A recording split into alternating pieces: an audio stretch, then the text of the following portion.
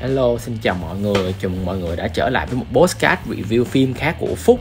Và hôm nay bộ phim Phúc muốn nói đến đó là hai tập đầu tiên của series mới trên Disney cộng của MCU là Miss Marvel.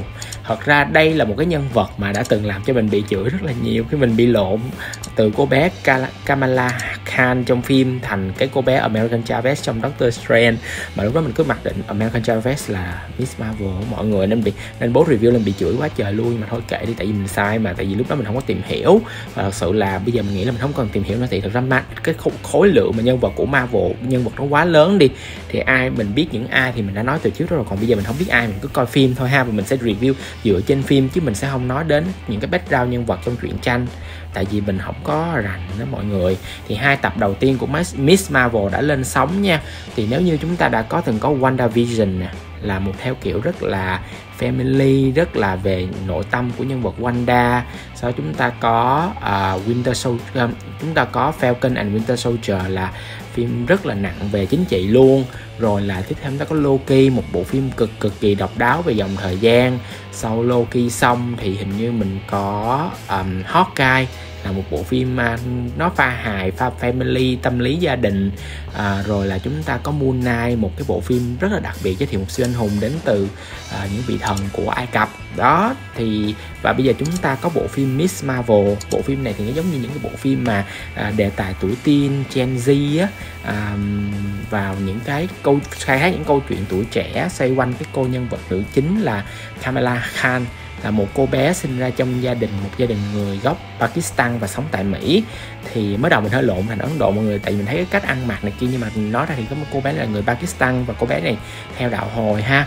Và cô bé này luôn rất là hâm mộ nhân vật là Captain Marvel, cái nhân vật mà mình ghét nhất trong MCU luôn với mình cái nhân vật mà cái Captain Marvel là nhân vật rất vô dụng và diễn viên đóng mình cũng không hề thích. Mà thôi kệ, tại vì cái nhân vật này là nhân vật của cô bé yêu thích mà chứ phải là mình đâu, đúng không nè? Và cái cô bé này thì cô bé trong cái, một cái lần mà cô bé tình cờ tìm thấy được một cái món đồ trong gia đình từ từ như người bà gửi đến nhà mình. Thì cô bé đã rất là tò mò và mang cái vòng tay đó, đáng lẽ vòng tay đó phải đem cất ở trong kho đồ cũ rồi tại không ai muốn xài hết. Cô bé đã đeo cái vòng tay lên và vô tình cái vòng tay đó giống như cái chìa khóa mở khóa sức mạnh trong người của cô cái cô bé này vậy đó. Và bắt đầu thì dĩ nhiên khi mà cô bé này có bắt đầu có sức mạnh thì mình mọi người biết rồi. Trong cái thời kỳ 4.0 thì chỉ cần cô bé lộ diện ra sức mạnh của mình thì sẽ bị những cái người gọi là đại diện cho chính phủ Mỹ tức là rất là nhiều tổ chức gọi là muốn khống chế siêu anh hùng giống như trong cái cái tổ chức trong uh, trong cái tổ chức tên là So trong uh, trong phim uh, WandaVision á. Rồi là những cái tổ chức à, giống như kiểu trong uh, trước Avenger thì mình có tổ chức nào ta? Ờ, uh, siêu chẳng hạn là vậy thì nghiên cứu các gọi là thực thể siêu nhiên. Thì đã có một tổ chức tìm đến cô bé này và muốn bắt cô bé này lại. À, tuy nhiên thì bắt được hay không không biết tại vì mới có hai tập thôi.